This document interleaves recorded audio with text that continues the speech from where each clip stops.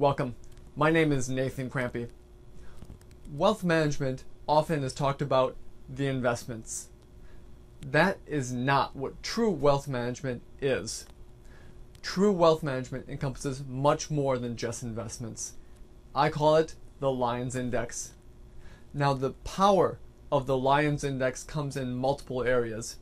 The first area does encompass the investments. The second area is much more broad, and that encompasses the advanced planning. Anything related to wealth enhancement, wealth transfer, wealth protection, and charitable gifting. The third area then encompasses the relationship.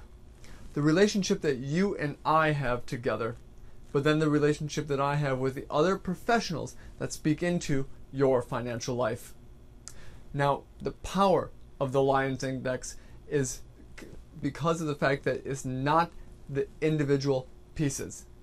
The power of the Lions Index comes taken cumulatively. That is where the power is derived, and that is true wealth management.